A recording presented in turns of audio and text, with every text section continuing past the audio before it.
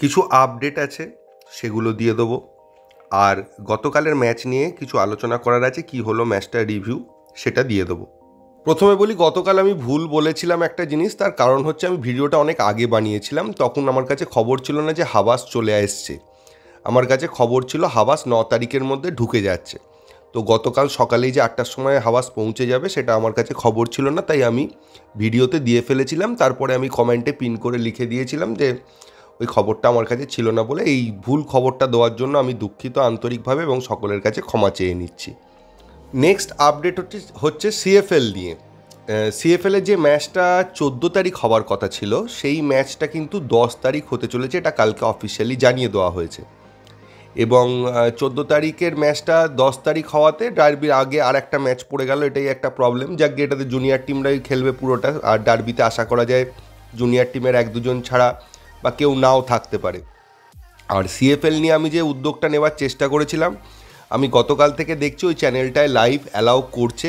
তাই আমি আবার চেষ্টা করব এই ম্যাচটাতে ধারাভাষ্য করার জন্য। যদি ওরা লাইভ করতে দেয়, আমি কিন্তু ম্যাচটা ধারাভাষ্য করব। যারা দেখতে পান না বা ইনস্পোর্টস অ্যাপ ইনস্টল করেননি বা কোনোভাবেই দেখতে পাচ্ছেন না, তাদের জন্য আমি এইখানে পুরো খেলাটা বলে যাব যে কীরকম কীরকম ম্যাচই হচ্ছে। তো আমি চেষ্টা করব, কারণ এখনও টেকনিক্যাল সমস্যা আছে কি না বলতে পারছি না। এইবার চলে আসি গতকালের ম্যাচ নিয়ে।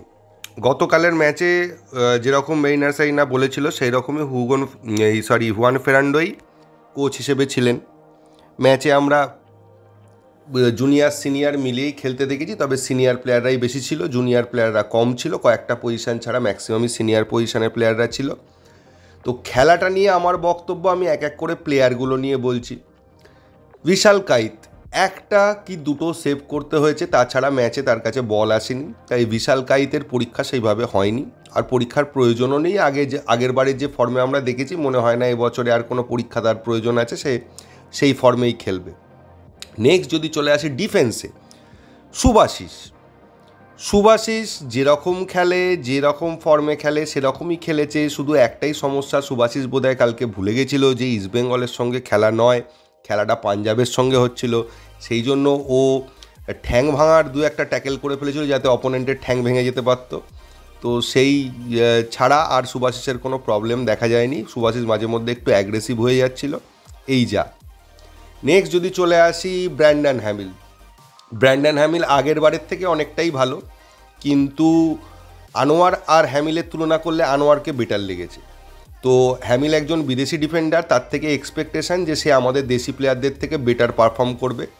কিন্তু কালকের খেলা দেখে কিন্তু আমার আনোয়ারকে হ্যামিলের থেকে বেশি ভালো লেগেছে। এখন নতুন বিদেশি ডিফেন্ডার যদি হ্যামিলের থেকে বেটার খেলে, তাহলে কিন্তু হ্যামিলের চান্স পাওয়াটা আইএসএলে মুশকিল আছে।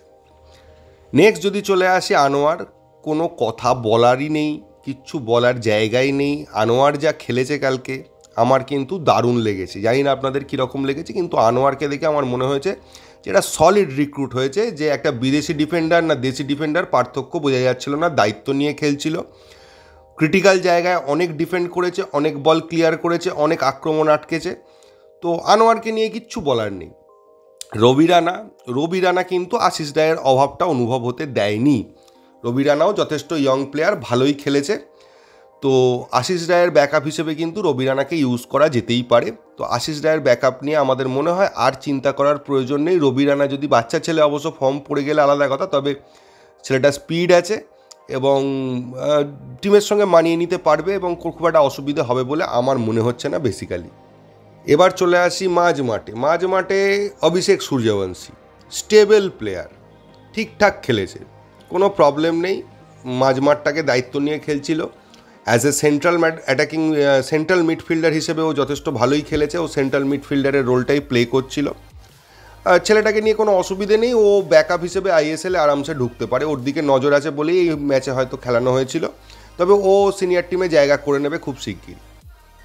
নেক্সট যদি বলি গ্লেন মার্টিন্স গ্লেন মার্টিন্সের খেলা খারাপ, ভালো কিছুই লাগেনি। একটা স্ট্যান্ডার্ড খেলছিল মুভমেন্টে প্রবলেম ছিল। মুভমেন্ট অনেকটাই স্লো ছিল। বা যেরকম আমরা ফুল ফ্লেজেটে গ্লেন মার্টিনকে দেখি, সেই ফুল ফ্লেজেটে গ্লেন মার্টিনকে দেখা যায়নি। বরং গ্লেন মার্টিনের বদলে যখন হামতে নেমেছিল, তখন হাম থেকে অনেক বেশি সাবলীল বা অনেক বেশি ছটফটে লেগেছে জায়গাটা, হয়তো বেটার লেগেছে। তার কারণটা হচ্ছে যে গ্লে, হামতে প্র্যাকটিসের মধ্যে রয়েছে, পরের পর ম্যাচ খেলে চলেছে। ফলে হামতে একটা ফর্মে রয়েছে এবং সেই ফর্মটা তার সিনিয়র টিমের সঙ্গেও দেখা গেছে কালকে। তো আমার হাম থেকে বেটার লেগেছে rather than Glenn Martins. Next হচ্ছে Manvir. Manvir as usual good perform করেছে এবং খুব ভালোই খেলেছে। যদিও এই অপোনেন্ট মানে খুব বিশাল স্ট্রং অপোনেন্ট নয়, তবু মনবীর যে খেলাটা মনবীরের খেলার দরকার, সেই খেলাটা মনবীর কিন্তু খেলেছে এবং যেটাও আইএসএলে খেলে থাকে, সেই ফর্মটা নিয়েই খেলেছে। তবে হ্যাঁ প্রপার রাইট উইঙ্গার বলতে আপনারা যেটা, আমরা যেটা বুঝি যে লাইন ধরে রান ওখান থেকে ক্রস তোলা বা এই সমস্ত জায়গায় মনবীরের প্রবলেম আছে কারণ মনবীর প্রপার রাইট উইঙ্গার নয়। মনবীর একজন স্ট্রাইকার কিন্তু মনবীর রাইট উইংয়ের জায়গা থেকে যে খেলাটা খেলছে তাতে খুব একটা প্রবলেমের বিষয় নয়, ভালোই খেলছে বলা চলে এবং আমার কালকে কিন্তু বেসিক্যালি মনবীরের খেলাটা খুবই ভালো লেগেছে। মনবীর যে অ্যাটাকগুলোকে সাহায্য করছিল বা অ্যাটাকগুলো করতে যাচ্ছিল, খুব শান্তভাবে একটা কাম পেশেন্স নিয়ে একটা দারুণ খেলছিল আমার ভালো লেগেছে মনবীরের খেলা। আপনাদের কীরম লেগেছে আপনারা জানাবেন। নেক্সট লিস্টান কোলাসো। লিস্টান কোলাসোকে দেখে মনে হয়েছে লিস্টান কোলাসো যে অফ ফর্মটা গত বছর ছেড়ে এসছিল, যেটা মাঝখানে আমি দেখতে পাইনি আগের ম্যাচটাতে আজকে কিন্তু সেই অফ ফর্মে আবার তাকে দেখা গেল। একটা বলও সে ঠিকমতো পায়ে রাখতে পারছিল না। মিস পাসের পর মিস পাস করে যাচ্ছিল। ওর জন্য অনেকগুলো অ্যাট্যাক নষ্ট হয়েছে। তো কালকে লিস্টানকে পুরোপুরি অফ ফর্ম লেগেছে। নেক্সট যদি চলে আসি আমি হুগো বুমোস।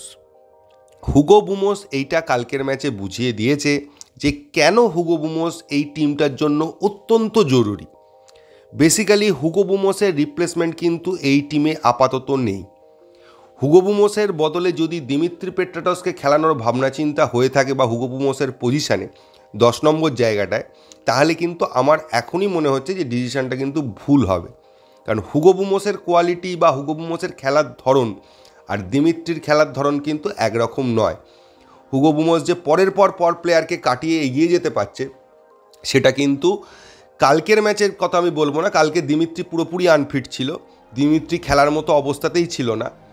তো সেই জন্য কালকের ম্যাচের বিচারে আমি বলছি না, তবুও হুগো বুমোস যে ফর্মটায় খেলে, সেই ফর্মটায় কিন্তু দিমিত্রি কতটা খেলতে পারবে আমার একটু সন্দেহ আছে।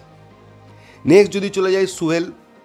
সুহেল যেরকম খেলে, সেই রকমই খেলছিল, প্রত্যেকটা বলের জন্য যাচ্ছিল প্রপার স্ট্রাইকার যা করে তাই করছিল। কিন্তু দুঃখের বিষয় হচ্ছে, সুহেল সেইভাবে সুযোগ পায়নি কনভার্ট করার, তাই জন্য সুহেল কনভার্ট করতে পারেনি। আর সুহেলকে তুলে নিয়ে একদিকে ভালোই করেছে, কারণ সুহেল যদি পুরো ম্যাচে কোনো কনভার্ট করতে না পারতো সারাক্ষণ ধরে, তাহলে সুহেল একটা প্রবলেমে পড়তো, কারণ ও নতুন বড় টিমের সঙ্গে খেলছে, ও মনে হতেই পারে যে আমি বড় টিমের সঙ্গে হয়তো খেলতে পারছি না। তো ঠিক আছে, সুহেলকে তুলে নেওয়াটাই ঠিক হয়েছে, সুহেল পরে আমাদের প্রচুর কাজে লাগবে। ও যেরকম খেলে, সেরকমই খেলার চেষ্টা করেছিল, কিন্তু কালকে সুযোগ পায়নি বলে ও নিজের খেলাটা বা নিজের কোয়ালিটিটা দেখাতে পারেনি। দিমিত্রি পেট্রারস দিমিত্রি পেট্রারসকে নিয়ে যতটা কম বলা যায়, ততটাই ভালো। ও ম্যাচ একদমই ফিট নয়। ওর বডির মানে মুভমেন্টটাও একদমই ঠিক নয়। অথচ ক্লোজ ডোর হওয়ার আগে কিন্তু ওকে মাঠে দারুণ ফিট লেগিয়েছে, লেগেছে। এটাই আমি বলি যে প্র্যাকটিসটা অন্যরকম জিনিস আর মাঠে নেমে খেলাটা, ম্যাচ খেলাটা দুটোর মধ্যে পার্থক্য আছে, সেই পার্থক্যটা বোঝা যাচ্ছিল। আর ক্লোজ ডোর হওয়ার সময় দিমিত্রি কি ঘুমোচ্ছিল না, রেস্ট নিচ্ছিল আমি জানি না, কারণ ওর ফিটনেসের লেভেলটা দেখছি ক্লোজ ডোরের পর যেন আরও কমে গেছে। সেই যেটা সমস্যা আমি আগেও বলেছিলাম ডেভিড উইলিয়ামসের ক্ষেত্রেও হতো, ওরা দেশ থেকে এসেই আর খেলতে পারতো না, ওদের ম্যাচ ফিট হতে টাইম লাগে। ওরা বোধহয় ওখানে গিয়ে ফুটবলের সঙ্গে পাই ঠেকায় না মানে ফুটবলের ধারে কাছেই যায় না, পুরো রেস্টে থাকে। সেই জন্য হতে পারে কিনা যায় না, তবে ওকে পুরোপুরি আউট অফ টাচ লেগেছে।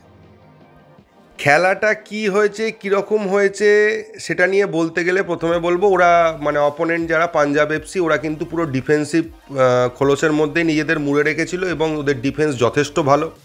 মোহনবাগানকে দাঁত ফোটাতে দিচ্ছিল না ডিফেন্সে উল্টো দিকে দেখলে মোহনবাগানের ডিফেন্সও একটা দুটো মানে মানে একটা দুটো একটা ভুল ছাড়া সেরকম ভুল ঠিক বলব না। একটা আন্ডারস্ট্যান্ডিংয়ের প্রবলেমের জন্য ফার্স্ট ম্যাচ একসঙ্গে খেলছে। অসুবিধে হবেই। তো সেটার জন্য দু একটা সামান্য মিস্টেক হয়েছিল, সেরকম কোনো বড় ব্যাপার নয়। ডিফেন্স যথেষ্ট ভালো খেলেছে মোহনবাগানের এবং ডিফেন্স কিন্তু কনফিডেন্সের সঙ্গে ডিফেন্স করেছে। এটা সব থেকে ভালো লেগেছে কালকের খেলায় নেক্সট মাঝমাঠ মাঝমাঠ কিন্তু জুনিয়র সিনিয়র মিলিয়ে বানানো হয়েছিল, সেই জন্য তাদের মধ্যে যে খুব ভালো কম্বিনেশান তৈরি হবে, এটা আশা করাটা ভুল। তাই সেইভাবে তৈরিও হয়নি। আর অ্যাট্যাক তৈরি হচ্ছিল অ্যাটাকিং জোনটা থেকে অ্যাটাক তৈরি হচ্ছিল, কিন্তু মিডফিল্ডের সঙ্গে ডিফেন্সের একটা কমিউনিকেশনের প্রবলেম ছিল। ওয়ারাজ মিডফিল্ডের সঙ্গে অ্যাটাকের সেইভাবে প্রবলেমটা ছিল না, এটা জুনিয়র সিনিয়র মিক্সড হওয়ার জন্য এই প্রবলেমটা হয়েছে, তো এটা থাকবে না। আর অ্যাটাকিংয়ের দিক দিয়ে যদি বলি অ্যাটাকিং কোয়ালিটি মানে যেভাবে মোহনবাগান অ্যাটাক করেছে বা আগে করতো, সেই রকম অ্যাটাক কিন্তু কালকের খেলায় দেখতে পাইনি। সেটা ফার্স্ট ম্যাচ বলেই হোক বা যে কোনো কারণেই হোক। তো সেই অ্যাটাকটা দেখতে পাইনি মাঝখানে দু একটা ঝলক দেখা গিয়েছিল। প্রথম দিকে যখন মোহনবাগান স্লো খেলছিল, ফেরান্দো বোধহয় বেঞ্চ থেকে একটা কিছু বলল। তারপরই টিমটা এরকম একটা কিছুক্ষণের জন্য এমন জ্বলে উঠল যে মনে হচ্ছিল অপোনেন্টকে এখানেই দুমড়ে মুচড়ে শেষ করে দেবে। সেই সময় গোলটা পেয়ে যাওয়ার কথা। কিন্তু একটা দুটো অ্যাটাকের পরেই গোলটা পেল। তার আগে পর্যন্ত মোহনবাগান কিন্তু একটু স্লো খেলছিল। আমি মোদ্দা কথা এটাই বলব, কালকের খেলা দিয়ে টিমটাকে বিচার করা যাবে না। কালকে তারা একসঙ্গে ফার্স্ট খেলতে নেমেছে। দু নম্বর হচ্ছে মাঠের কন্ডিশন এতটাই খারাপ ছিল বা বৃষ্টি ওয়েদার এতটাই খারাপ ছিল যে বেশি রিস্ক নিয়ে হান্ড্রেড পারসেন্ট দিয়ে কিন্তু প্লেয়াররা খেলেনি। এবং তাদের বোধহয় বারণ করা ছিল যে কোনো রিস্ক না নেওয়ার জন্য, কারণ এরপরে বড় বড় ম্যাচগুলো বাকি আছে। তো কালকের খেলা দেখে কিন্তু টিম সম্পর্কে পুরো ধারণা করা যাবে না।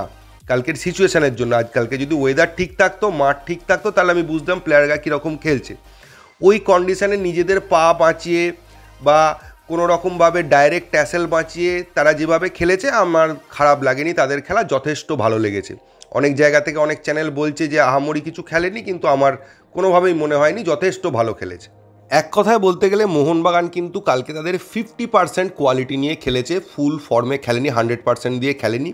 তো ফিফটি পার্সেন্ট দিয়েও যা খেলেছে, তাতে মোটামুটি পাঞ্জাব এফসির মতো টিমকে উড়িয়ে দিয়েছে, এটা কোনো ফ্যাক্টর নয়। মানে ওদের কাছে এই টিমগুলো খুব একটা ফ্যাক্টর হবে না, আগে থেকেই জানা ছিল। আর পাঞ্জাব এফসি যথেষ্ট ভালো টিম বলেই আমার মনে হয়েছে কালকের খেলা দেখে। তাদের একটা মানে তাদের ডিফেন্সিভ কোয়ালিটিটা বিশেষ করে ভীষণ ভালো।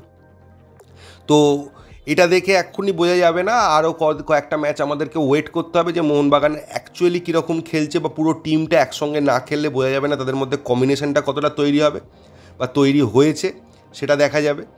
আর একটা কথা বলতেই হয় যে প্রি সিজনের অভাবটা কিন্তু বোঝা যাচ্ছে বিশেষ করে সিনিয়র টিমের থেকে।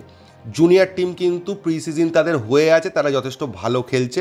সিনিয়রদের থেকেও আমি বলব, কালকের খেলার বিচার করলেও জুনিয়ররা অনেক বেশি ভালো খেলেছে।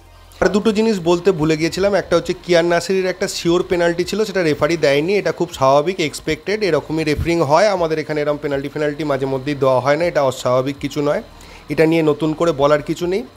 আর পাঞ্জাব এফসি যে একটা বাইরে থেকে শট মেরেছিল, যেটা বারে লেগে বাইরে ড্রপ খেয়ে বেরিয়ে যায়, ওটা ডিফেন্সের ভুল বললে ভুল হবে, কারণ ওটা প্লেয়ারটার ইন্ডিভিজুয়াল কোয়ালিটিতে সে একটা দারুণ শট মেরেছিল, কিন্তু গোলটা হয়নি। আর একটা ছোট্ট আপডেট পাওয়া যাচ্ছে, যে আউটগোয়িংয়ের কথাটা বলেছিলাম, মোহনবাগান থেকে কোনো একজন ভালো প্লেয়ার এই সিজনেই যেতে চলেছে মানে এই উইন্ডোতেই যেতে চলেছে। যা খবর পাওয়া যাচ্ছে, তারা, তিনি হলেন তিনজনের মধ্যে একজন। মনবীর সিং, লিস্টন কোলাসো আর আশিক কুরুনিয়ানের মধ্যে একজন এই সিজনে চলে যেতে চলেছে, এরকমই একটা সোর্স থেকে আমি খবর পাচ্ছি। এবং সেই সোর্সটা সাধারণত ভুল বলে না। তাই আপনারা ধরতে পারেন যে এই তিনজনের মধ্যে একজনকে কিন্তু আমরা এই সিজনেই চলে যেতে দেখব। এই ভিডিওতে এইটুকুই, অনেক কিছু বলার ছিল, কিন্তু আর সময় নেই। পরের ভিডিওতে আবার বলব। তো যদি ভিডিওটা ভালো লাগে প্লিজ চ্যানেলটাকে সাবস্ক্রাইব করবেন। থ্যাংক ইউ ধন্যবাদ, এবং জয় মোহনবাগান।